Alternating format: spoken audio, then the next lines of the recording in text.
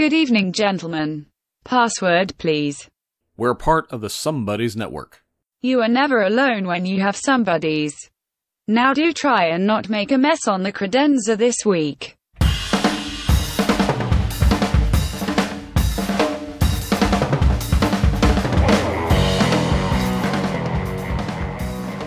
Oh, speaking of another movie that just started filming recently, What's that? Zombieland 2. Yes. Now, even after the disaster that was the Amazon pilot, How did that happen? what, how it failed? Yeah. Like, we both saw it. It sucked out loud, but it was the same writers. I guess because if you don't have Woody Harrelson, nobody accepts it, and it just maybe it was like badly cast. I mean, what what was the the what really hurt this that pilot? Yeah, the the actors didn't have very good charisma. I, I recognize that. You're not going to be able to like who the hell was the who was supposed to take Woody Harrelson's role in that in that Uh, project? wa- was it the guy who's playing Hellboy now? No, no, no, no. Wasn't it's not, him? It is Okay. not David L. Harbour. No, no, no, no. People, people have seen that guy in prior projects, and they were like, "Well, that guy's going to break out very, very soon." Like he was one of the standouts in the newsroom, who wasn't Jeff Daniels or Emily Mortimer or uh, who the fuck else was in that show? I don't know. Psylocke. Insert name. Yeah, I forget. I know Psylocke was somewhere in it, but I can't remember what her name is. I just call her uh, takes credit for stunties McGee. um. Anyway, uh, yeah, he was he was actually in the newsroom and he played like one of the bit characters, uh, another anchor, and people were like, he started getting like more exposure as the series went on, and like even got a little bit of his own storyline in the last season. So it's like, all right, that guy's about ready to pop, but it's gonna have to be that project that does it because he looks like a lot of other kind of like dad bodied white guys in uh, character actors in Hollywood right now. Um, but yeah, uh, no, it was just some just some dude, and he was just there. Yeah, they definitely didn't have any star power behind it. Yeah, and that and that's fine. But as long as you're is as long as you've got your thumb on the casting pulse, then you can you can make up for that. But this guy was just like a male Brie Larson. He was just kind of he occupied space and read the lines as well as he fucking could, and didn't really do. He didn't really co- contribute any much more than that. And and it's just like all right, Woody Harrelson's Woody Harrelson's where he is now because he's Woody Harrelson. He's Mazzo. He's not offensively Mazzo, but he's just crazy enough in order to commit just the right amount of psychosis to a role in order to impress itself upon other people, movie going audiences, et cetera, et cetera. I had to look it up. Uh, this guy, the guy who played Tallahassee in the pilot was Kirk Ward. What's he been in since then? Fuck it. What's he been in before that? What's he been in at all? Like nothing? I think that was his biggest role. And this is Amazon foot in the bill, mind you. Remember Alpha House? Yeah. John Goodman, and at least three character actors that you actually know the names of. And another show from that pilot series, Uh huh. Those Who Can't. and those who can't, which is uh, actually no, uh, those who can't isn't on Amazon anymore though, right? That's on True No, it's TV. on True TV. That's They right. picked it up. They picked it up. So that was at least a show worthy of being picked up by somebody else, which was nice. But nobody wanted Zombieland, which is a hell of a statement considering that the movie made as much bank as it did, contributed to the whole zombie pop cultural fabric, you know, with like double tapping and shit. It gave its own spin on the mythos. And then people kept clamoring for Zombieland 2, despite the fact that the show was just. It was a very strange move to make. It. Uh, I'm looking at the the rest of the cast, the, the starring cast, and Mm-hmm. who are these people? Tyler Ross, Izabela Vidovic. Uh, they're all they're sorry, but they're nobodies. Yeah, which is which is which sucks because they could have. I mean, they could have been like decent actors or decent players in their own right, but the the project uh, just wasn't going to work in the way it was manifested. So When, when your lead role is sounds like an owl flew in, you have problems. yeah, I mean, who knows, man? Kirk Ward might be ready to pop too, but he certainly wasn't on that thing, and that was Not like five years day. ago. No, Yeah. which is too bad. But now we got Zombieland 2, and it's currently filming up in Atlanta right now because that's what Georgia does. They dominate Hollywood. Good for them. And uh, it's Filmed in Georgia. Now, here is uh, what I'm worried about with this movie, and it's a very, it's a very pressing worry because it's something that like I had kept thinking about, even like in a in a hypothetical sense since the first movie, and that is, when the fuck is Jay gonna watch the first fucking movie? Because for like five years he put it off, and it was like I'll get around to it. And then I think he became oversold on it, and now he's in that like I'm not gonna do it mode because you know because so many people said it to him. So now it's like, God damn it! Am I gonna have to clockwork orange your shit into this? All right, get the duct tape. That's what we need to do. We need to assign a movie each of us to each mm-hmm. other now that would that be we all need to watch. That would be cool. Yes. Like, okay, if you were to spring a movie, oh, what a perfect segue. All right, if you were to spring a movie upon me like today that you wanted me to see really badly, not because you think I'd like it, but just because I ought to, I, I find it enriching in some way, you know? Like, what would you throw at me? You see, you'd be difficult because you've seen almost everything. I've seen so many fucking movies. Yes, that'd be very. it would be hard for me to find one that I think you should see, and B that you haven't seen at all. But you see, if you had been listening to your own podcast since 2015 or so, this would be a pretty easy endeavor to complete. Because I've never seen The Godfather. I don't remember that little factoid. I have never seen The Godfather 1, 2, or 3. okay. And to that end, I've never seen The Exorcist 2, and I've never seen The Exorcist 3. Yeah, you're not missing much. I really want to see The Exorcist 3, though. So that's going to happen at some point. Well, that's that's your own hopes and desires. Uh, okay, all right. So you don't think I'll get anything out of that movie at all? I mean, that's up to you. It's like watching The Omen 2. It's like, th- what's up with this kid? I've never seen The Omen. What?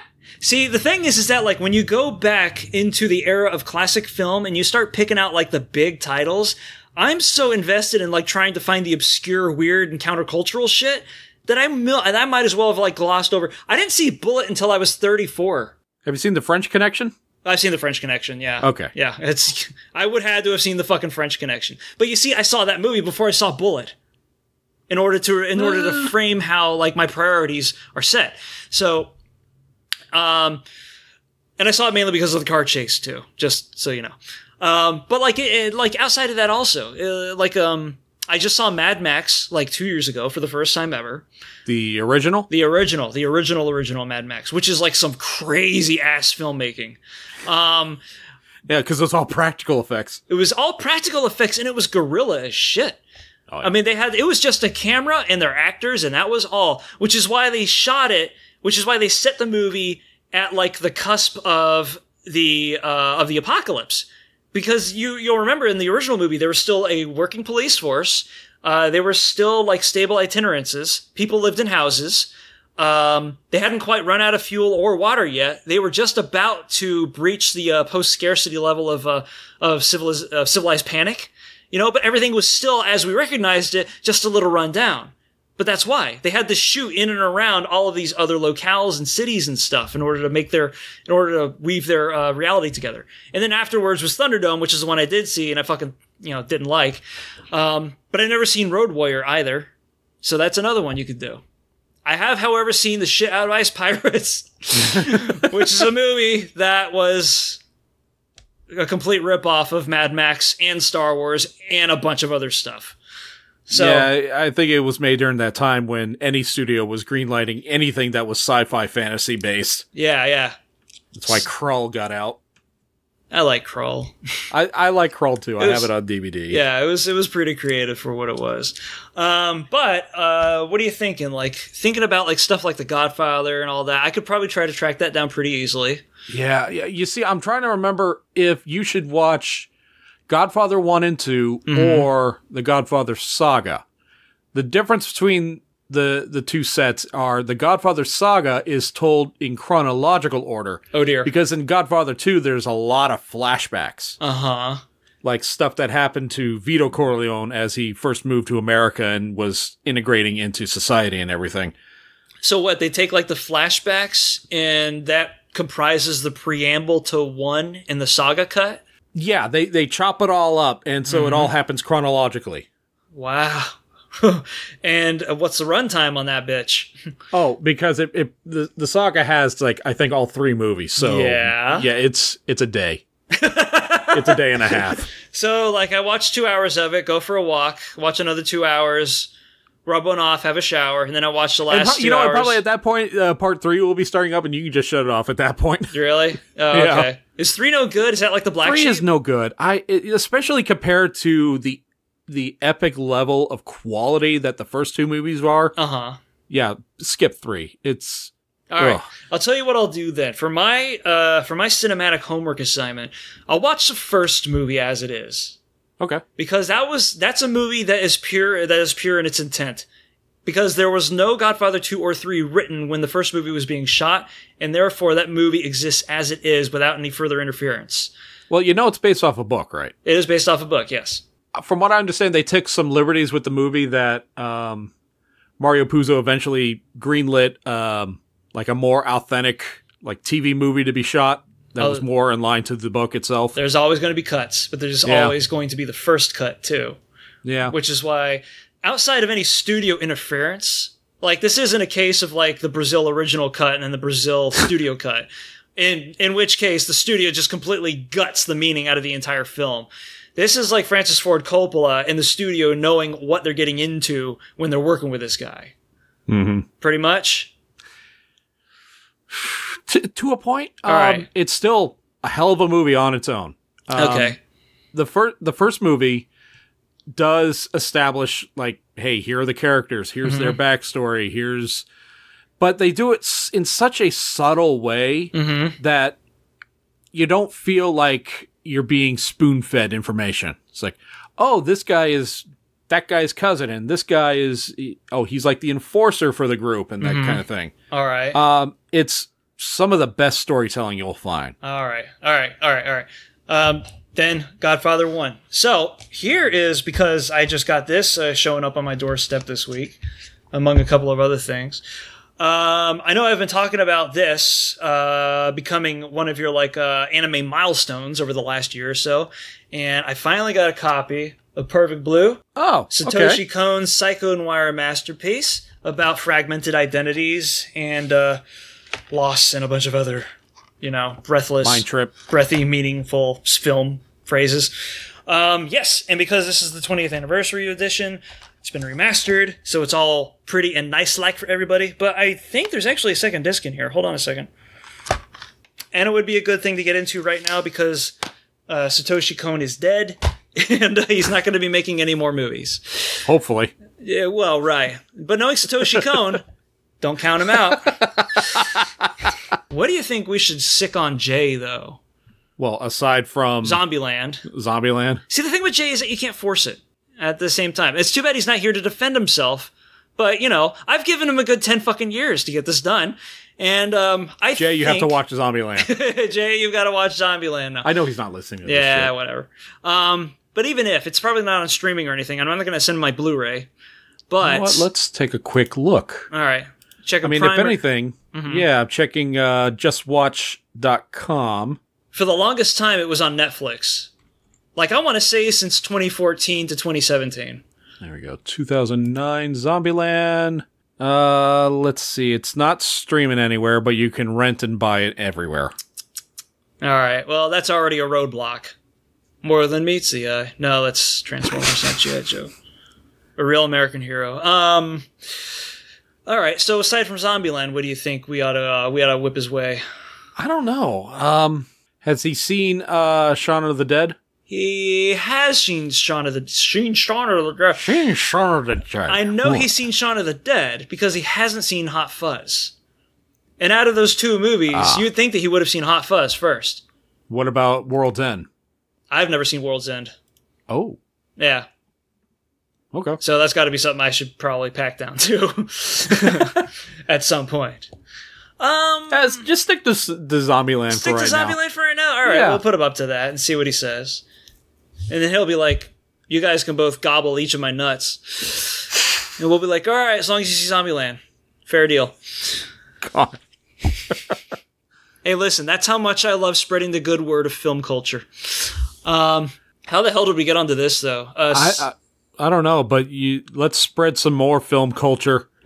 what? J.K. Rowling has lost her goddamn mind. I didn't want to say anything, but yeah, she's uh, she's a victim of her own uh, aggressive wokeness, as it turns out. uh, you know what? There, it's fine if you want to retcon your own characters, I but know, you know it's what? so you're funny. you're a children's book author. Author. she puts out a tweet after no one had asked. Uh huh. I mean, it was it was pretty clear that the evidence was made previously Uh huh. Yeah. that the characters Dumbledore and Grindelwald uh, had a relationship Uh-huh. with each other Yeah. in some way. To my uh, opinion, I haven't seen the most recent movie. Uh, I need to fix that like really soon. Although I've heard it's not as good Mhm. as some of the other Wizarding World movies. Well, this is her first screenplay, isn't it?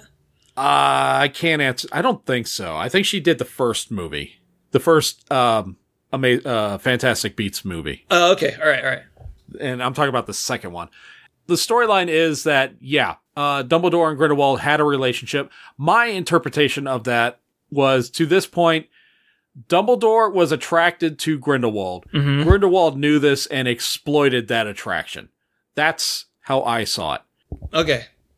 Oh, so like already in Fantastic Beasts, the heretofore unacknowledged uh, homosexual tract with Dumbledore was there, and it was acknowledged in the movie. Wha- But no. now she's trying to make it Dumbledore way. was not in the first Fantastic Beast. The character Dumbledore okay, was not right, in but it. he's being written as such in the second movie. I believe so. I haven't seen it yet. Like I said, So they danced around it because obviously it was a Wizarding World. It's still a children's book property, no matter how you cut it. So any mention of like sexual dynamics is going to be kind of taboo. But Right. the thing is, is that like they still want to present those sorts of relationships as uh, as as taken for granted, as something that's not really, you know, hemmed and hawed over. Right? Like it's normal. I mean, we're all adults. We can we we can uh, accept just about anything. right? It's just that yes, this is a children's series. Although I think, well, no, Fantastic Beasts it's a, it's a movie of its own. But Mhm. she put out a tweet basically indicating that Dumbledore and Grindelwald had an intense sexual relationship.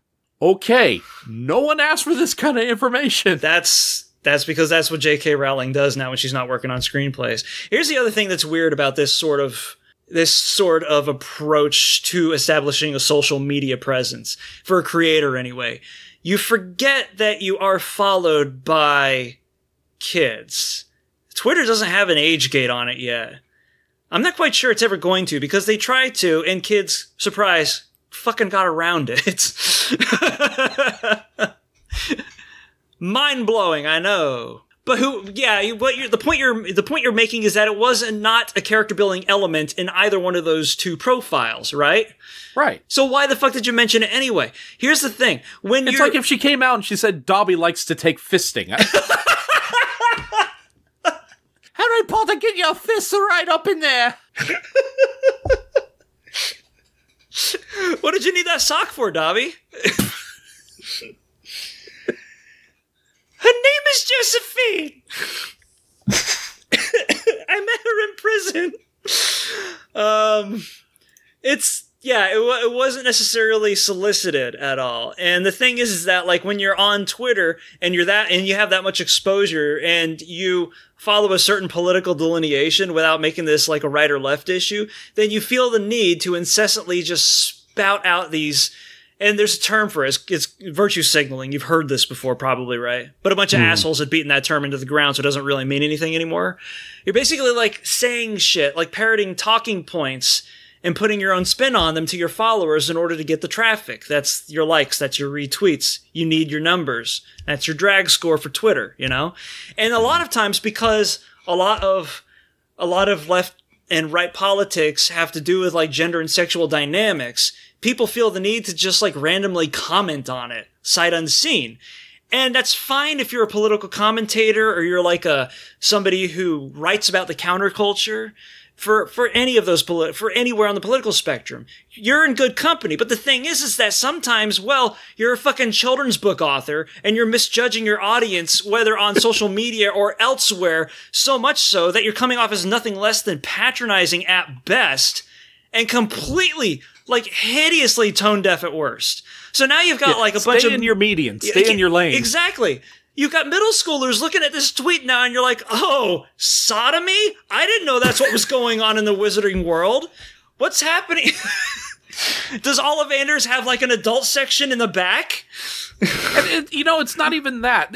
Like a few months earlier, she put out something. Somebody had asked her. Um, let me try and rephrase as best I can. Yeah. Uh, before Muggle plumbing was instituted into Hogwarts, Uh huh. how did the students and faculty use the bathroom? Uh, and she responded with, they just went where they were standing and used magic to woof it away.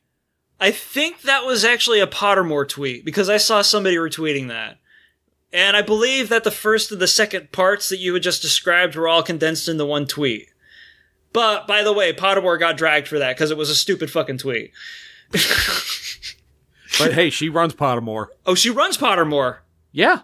Fuck me, Jesus! What? what, what are you? All right, well, whatever. Okay, I. You know what? I swear to God, if I was actually into Potter, my emotions would be unlike a, an, a uh, just a runaway roller coaster right now. Because there's so many things like, yeah, great, we've got Fantastic Beasts and everything continues, and the Universal Parks are doing so well. But apparently. Apparently, wizards now have to state their status, and I gotta watch. I gotta wear the shitty footwear out in the halls, just in case somebody didn't like make good and tidy up after themselves. I mean, this all started, I think, before the last book came out. Matter of fact, yeah, I think it was before the last book came out. She had, in a Uh. Q&A, had stated that Dumbledore was gay. And everyone's like, oh, really? Well, that's an interesting uh, character aspect. We Mhm. didn't know that. We didn't, we, Yeah. there was no indication. He, like, there, great. there were no implied paramours or anything throughout the entire series, so people were like, "All right, that makes sense." And yeah, and I think because that was so uh, warmly taken in by the fans that Mm-hmm. she's like, hmm, I wonder how much I can push this. Oh God. and there's just been like once a year there's these weird interviews or tweets or something that she puts out Mhm. it's just where are you going with this woman It's just when some when somebody tweets something outrageously dumb, they are just looking for the score, and that's all. I guarantee you that like now here's the thing about Twitter. They were there's talks of them getting rid of uh, all of the uh, easily visible vanity metrics for that website, and a lot of people are kind of losing their shit over it because they're like, no, I want my retweets, et cetera, et cetera. But then there are a lot of people that are like, you know what? I bet you if you did this for just like a week, you would see a sharp decrease in stupid tweets throughout the week. Guaranteed. I don't turn off retweets, but I tried to put uh, liked tweets into my muted phrases, and that worked for a while, but I guess Twitter got kind of wise to it and decided to recode those phrases, so now it doesn't work anymore. So whenever like uh, whenever somebody that I follow likes something else and they do it like 20 times in under an hour, then I'm going to see this person liked this. And I'm like, man, I don't fucking care. I don't follow these people that this person follows for very specific reasons. And this isn't helping, this isn't helping to convince me to increase my traffic from a user side, you know, standpoint. So if somebody's liking some shit from whoever the fuck, uh, Boogie2988 or something, and, uh, great YouTuber. The guy whines a lot on Twitter, though. For God's sakes, man, you you you literally make a living jawing off into a webcam. I'm trying to sympathize with your position here, but man, shit ain't as bad as you're making it out to be. Okay. Anyway, at least one happy tweet per day would offset the misery. But there's somebody that I follow that that like likes a lot of his tweets, and it's like I fucking don't care. I just get it out of my timeline. I'm not gonna follow him. This status will never change. So that's that's my big pet peeve with Twitter at the moment. Now, because I only follow like six or seven people, the negativity has uh, markedly decreased. Funny how that works out. go figure Yeah, go figure. But it's like Twitter's trying to sick that negati- negativity onto me because of the other people that I follow follow like 500 people. So they're like, whatever they like, I have to see. I don't fucking want to see it because I don't want any negative shit on my timeline. You got it? Jack, pay attention, please. So, you're like this marketing and programming genius. You can't read people, for fuck's sake. They're your core audience and your product at the same time. Get it together, man. Sorry, did I just rant about Twitter again? no All right. of course not I, I, I guess we have to give our shout out to Peter Capaldi because that's the only thing that's lasting right. longer I, your I was Twitter about rants. to do that. Like, hey, Peter, how's it going? You enjoying your vacation? cool, love it. I still think your screwdriver was the best. Yeah, I'm sorry. Next to uh, next to um, uh, eights, eights was pretty cool too. No, no, it wasn't. Eights was just four. Um, whatever. This went off the rails. Um, so like outside of bitching about Twitter and shit, uh, you're talking about J.K. Rowling fucking uh, fucking uh, skirting her gravy her gravy train around the cliffs of Dover. Um, and you know, it's It's her character. She can do whatever the hell she wants with them. It's just Yeah, yeah, I have the same right to just stop buying your book. yeah. I wouldn't stop. I mean, to a point, I guess. Like if the movies don't are if the I movies could. are ridiculous because of these arbitrary changes, then go don't go see the movie. But don't go see the movie for some like ham-fisted ideological reason like, "Oh my god, girls are ghostbusters now. I can't see this." Oh no, that's that's Yeah. just asinine. See it just because the movie sucked balls and was a completely vacuous attempt to cash in on a veneered property. Spe- speaking of properties, Go ahead. What? What are you we're doing? terrible at segueing here. Yeah, no, that's right. Otherwise, this just uh, this like rage bullet was just gonna keep fucking go until it hit the bone. Oh yeah. Yeah, Earlier today at 12:01 a.m. uh the, of the day of we record this. why are you starting this like an episode of Kolchak? I don't Earlier Really, today on the south side of Chicago at 12:01 p.m., there was a series of grisly murders, and yet all were made with claw marks with the saliva of a dog present at the scene. Anyway, sorry. Well, the victim in this case are probably the fans because there's a lack of creative control now because Disney now owns about 60% of all media marketing. Yeah, The deal with Fox went through today, so now Disney owns a lot. uh, a lot, a yeah, lot of Fox. Disney stuff. owns much. Mixed feelings. Um, That's how you can summarize this, at least for me. Um, not for me. Not not really for you. Not really. Uh, right. I mean, they're getting some properties that they really wanted, like the Alien franchise, Avatar, the X Men, Yeah, yeah. and then they're they're the Simpsons now belong to Disney. That's Which means that's at least uh, two fifths of Islands of Adventure that they now own. Oh no, no, I'm sorry. Simpsons is on Universal side, but still, still, yeah, yeah. Big deal. Wow. it's Oh, it's mixed. I say mixed feelings because of this. All the cool things that like a nerd or a fan would get into that you just mentioned, right? Man, um, multimedia conglomerations are bad news uh, to begin with. With too much stroke, I mean, to begin with. And now these guys have got so much muscle in their pockets. some of these situations, I think they bought for the sole purpose of either selling again Mm-hmm. or, well, in, in some cases, yes, they are. It was part of their deals, like, hey, we'll take this off your hands, but we'll we'll sell it uh, in some time down the line. Or in some cases where they bought it to, in my, I think, like with Blue Sky Animation Studios, I think Mhm. they're going to close them down. Oh, oh God. They Probably take in like their their best people and then just shut them down because they already have Pixar and Disney Animation. They don't need a third I- studio. God, I didn't realize Blue Sky was owned by Fox. Jesus. Yeah. Phew. All right, that's not great news. The, the thing is that like uh, you you kind of trust the uh, you kind of trust the um oh my god I'm gonna sound like such a fucking bush leaguer right now the financial arm of the government or at least the branch of the government that oversees the fair trade Antitrust. Anti antitrust is a motion that this branch of the government that whose name escapes me right now would be responsible for. But is it the Federal Trade Commission or somebody else? Because you kind of have to like believe that they are on the side of small business or at least stable e- economics to make the right decision in granting and ensuring that a deal goes and ensuring that the a deal a deal of this scale is is still workable or tenable within our own in, within our within our own fiscal infrastructure. You, you know what I mean? Sorry, my, my fucking words are failing me right now, but um, Drink but some the, more. but the thing is, is that I don't have any left. Um, the thing is, is that like they were completely okay with it, even though there were a couple of hangups uh, in the early stages of negotiating this deal. But in the end, Disney got Fox, or at least most of Fox, and now they own so much of what you see on television. Uh, they have at least two full streaming services now, and I'm going to say that, like, yeah, a couple of other investors still have a piece of Hulu. That's just a piece now. Yeah, they own majority control. They don't own all of Hulu. Yeah, yeah. I think Abe. No, uh, CBS. No. CBS was part of it. Um, ABC was okay. also, but Disney owns ABC. So right. Um, But it was like a three way between Fox, ABC, and I can't remember if it was NBC or CBS. But oh yeah, Wall Street three way. but now they own sixty percent of Hulu. They're starting up Disney Plus uh, later this year, next year, or something like that. Right. Which, Uh, which let's see. They they also grabbed all the FX networks. Yep. FX, FXM, Archer. FXX. They fucking own Archer. Can you believe that shit?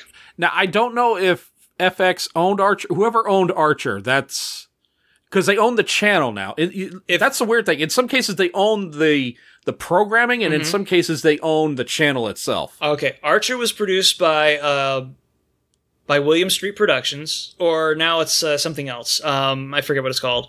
Some- okay, and they have their background in uh, Turner. They have I their think. background in Turner. However, this is separate from Turner because well, that's why they went to FX.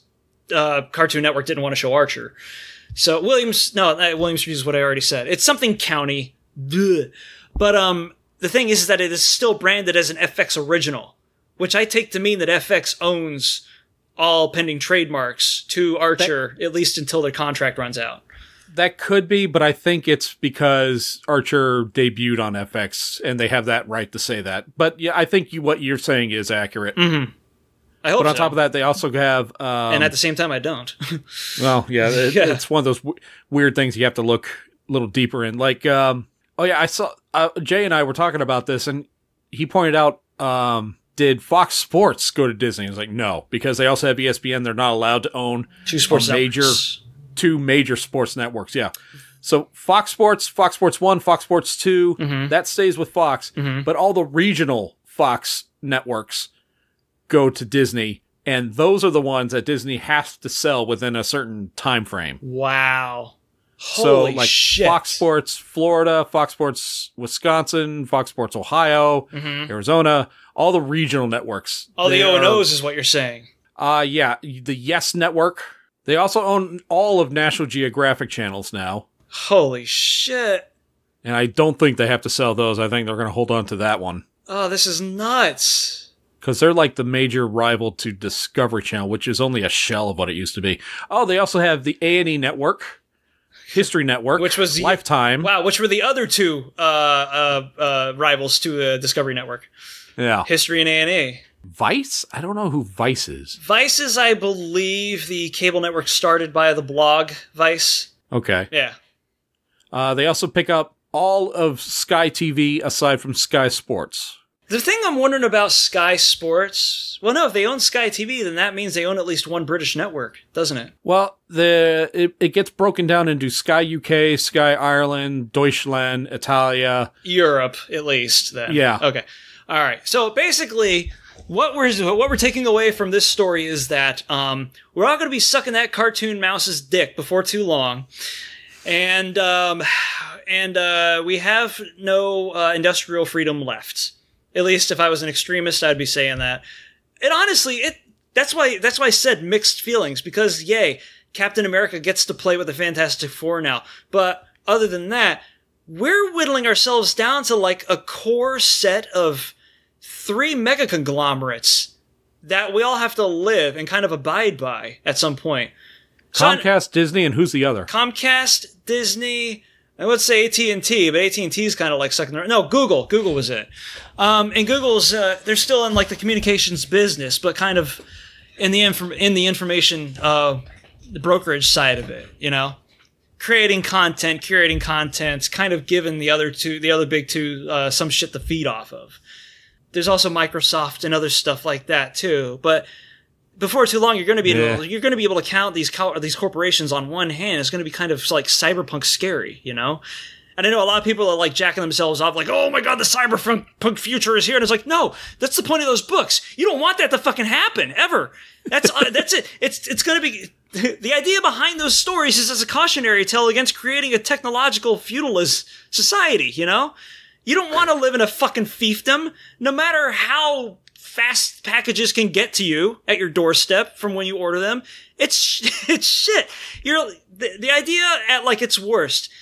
When if you push this wall all the way off the joists is going to be the whole barcode on the back of our next sort of reality that you know people used to people used to talk about with like you know a wink and a nod. It's never going to happen. But we're kind of looking at that first shot being chambered right now it's it's it's it's a scary enough thing to like look at a gun, but it's a scarier thing to look at it with the safety off. You know, it's funny. There was a um, epic rap battles. Mm-hmm, Did uh, a rap of Stan Lee versus Jim Henson. I saw that. Yeah, and at the at the very end, Walt Disney steps in and says, "Hey, guess what? I own this series," which is, is a double joke. Because first he's talking about Command owning, but then Yeah, uh, dominating the- the, series. dominating, yeah, Right. dominating. Mhm. But then the, the the side joke to that is uh, Epic Rap Battles at the time was made by Maker Studios, which was owned by Disney. Yeah. So is Epic Rap Battles not under the Maker, Maker label anymore? I don't think so because they've been on hiatus for like the last two years. They're Mhm. coming back, I guess, under their own power, uh, like in a month or two. Yeah, yeah. Because I've seen I've seen them teasing their shit here and there. But I think that's the deal that they're they're out from under Disney and Maker. Which, hey, that's you can still get out and do stuff. Yep, I know, I know. And it's not like it's you know they're uh, it's not like Disney's Der Schmeilfuhrer or something like that where you know you have to make dreams as long as you don't mind the shackles or anything, which is great for independent creators and stuff. But Look at my empire of joy. y- yeah, pretty much, yeah. Like empires are a scary proposition. No, this is an empire that they've built. Mm-hmm, mm-hmm. So that's uh, that was the big business news. Hey, we have a business segment. How about that? Yeah, go figure. Just as long as it's you know somewhat uh, correlating to the usual bullshit that we talk about. Ah. But anyway, speaking of bullshit, I have a stream in about twenty minutes. Did we want to touch on a? Did we did we want to touch upon anything else uh, before No, I think we've uh, hit all the notes I left. All right. I did have one thing I wanted to mention because Jay and I were just talking about it today and thought it was a pretty cool idea. Um, we've been uh, well, we've been having like ideas for like random shit over the last month, but I like this one because it's a uh, it's a it's a project with a definite terminus, so it won't be like the Lost podcast that I still really want to do. By the way, um, did you hear this idea yet? Did he tell you? Mm, it's not ringing any bells. He wants us both to get like fucking super double ass tanked and watch episodes of Lost and then commentate on them as they're playing. Oh my god. Yeah, I, am very much down for that. Um, this is something I brought to him today because I got uh, this uh, in the mail earlier. This is a book by an author named Nick Bantock. And if you don't know that name, I was I was about to say, well, I'll tell you why you should, but not really. I'll tell you why it's of relevant interest uh, to me. Um, because uh, he is an author, or rather an artist, who tends to write books that feature um, that feature false documents that provide some element of uh, interactivity between him, the characters, and the reader. All these are envelopes that contain letters and postcards and stuff. Okay. Oh, He is also the creator of the uh, world-renowned Griffin and Sabine series, which would be more familiar than this book here, which is about an artist who creates postcards. Go figure. Um, who begins a correspondence with somebody he's never met, who lives like three oceans away, et cetera, et cetera. And the first book is kind of like half of a horror story, but then like they kind of soften all that into the other books so children could read them without, you know, having nightmares. Anyway, but what this has to do with is a series or genre of books that up until now I was calling docufic, document fiction, oh. which is fictional narratives that are Wouldn't that be a mockumentary? See, kind of. I guess. Mockument- I guess that that has more of a humor spin to it. Mock- mockumentary is mocking. I mean, there are parodic docufics. There's parodic docufics of other docufics. Um, but mockumentary, I think, is uh, pretty closely tied to cinematic arts, which you know are its own its own thing. Because you think of a documentary is a moving picture, a mockumentary is a mockery of that. Um, so, uh, but they've, there are other books that are tied in with this, and we were like, okay, well, how much has this format like touched other forms of media? And we're thinking about like shit. ARGs, alternate reality games, are kind of the same way. Uh, there, uh, there was the letter that came with. Uh, I, I I remember this. Uh, suddenly, there was a letter that came with uh, Star Tropics for the NES, and you couldn't complete the game without dipping the letter into water and seeing a little code at the bottom. And I started reading about the history of these epistolary novels, false documents, forgeries, and stuff. And they go back as far as like the 16th century. This idea. So we're kind of like, all right, well, we're going to take this. We're going to make like maybe a 10 minute actual documentary or something like that about this style of book writing. And it's going to be a lot of research, which is something that I'm not used to doing. because normally uh, my interactions with uh, internet content is uh, you ask me to come on this podcast and then I just like talk shit for for 90 minutes. And it's worked out pretty well so far. Um, but yeah, this is like a, this is an actual like project project which I'm trying to do. And uh, Well, we uh, we're looking forward to finishing it at some point soon. So that's what I've got going on. How about you, buddy? Nope, that's uh, fine and dandy with me. I haven't prepared a uh, what you doing. Oh, it's not really even a what you doing. Like if I was doing a what you doing, I'd be like, well, I've got like 25 video games on the docket right now. Oh God. no, that's not true. Uh, no, wait. I already mentioned. Wait, I'm sorry. Did, did nothing? 24. I finished Dragon Quest Builders finally. Oh, okay. Yes. Wait, it, that game does come to an end. It does come to an end. Uh, there are four chapters. It's just they take fucking forever to get through. Um, and uh, the rest of the game is pretty much like just a Dragon Quest and Minecraft. But the thing is that like you have to finish all the chapters in order to unlock most of the content that you use in the open world part of the game. But the open world part of the game doesn't have any quests or missions or anything. You're just literally building Club Harem out in the middle of nowhere, and uh, I unfortunately destroyed it, so don't worry about that. Um, Just nah, like the after real I, one. After I got done building one tit, I was like, ah, I'm kind of done. so the building ended up looking like Nancy Reagan before I demolished it, and uh, It was all red. send all your Twitter callouts right here. That's right. Oh God. Uh, anyway, so that's a fine game, but you know, with Dragon Quest Builders 2 coming out, I'm like, I got to put a cap on this because I'm not going to be coming back to this ever again. Um, and when 2 comes out, you bet your ass I'm going to be all over that like white on rice when that comes out. So that's going to do it for episode 55 of the Nerd or Not podcast. You can go to teepublic.com, Mm-hmm, search Cretins Guild, one word, forget yourself a shirt, hoodie, phone case, office supplies. It seems like we say this every episode. Doesn't it? I it sure does feel like it.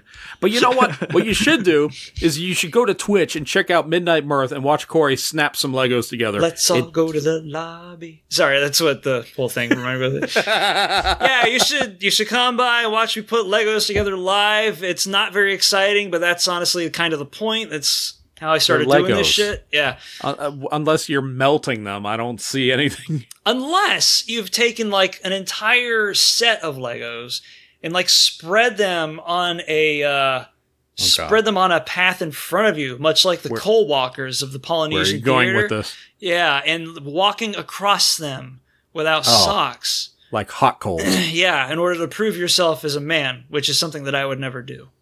they do that in Polynesia. Yeah, that's that's that's right. That's right. The five year olds, though, it's just the kids that do that. The joke here We being the bo- joke here being that I couldn't endure something that kids easily can. I can't. That's for damn sure. Good. I'm glad we're in like company then. but yeah, So we feed off dialogue. We ask you to subscribe, like, and engage us in the comments of anything we have talked about today. You can find us at Cretins Guild on Twitter, Instagram, Facebook, and YouTube. And again, he is on Twitch mm-hmm. at Midnight Mirth. yep.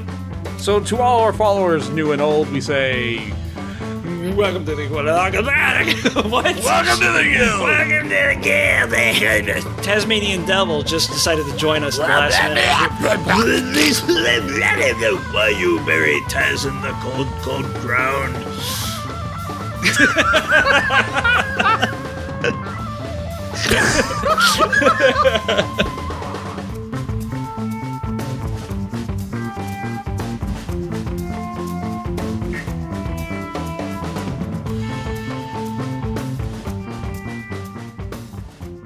This podcast is part of the Some Buddies Network. You're never alone when you've got some buddies.